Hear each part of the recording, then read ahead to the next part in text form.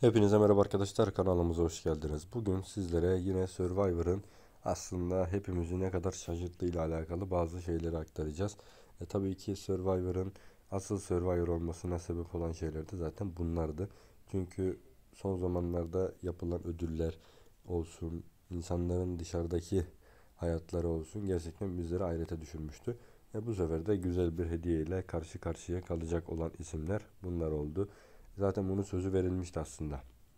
Çünkü Acun Ilıcalı zaten bir açıklama yapmıştı ve sizi Disneyland'a götüreceğini söylemişti. E tabii güzel bir serüven ve içini de merak eden birçok insan vardı. Bu da onlara farklı bir hayat tecrübesi katmış olacak. E şimdilik diyeceklerimiz bu kadardı. Gelişmeleri kaçırmamak için kanalımıza abone olmayı, videomuzu beğenip like butonuna tıklamayı lütfen unutmayın.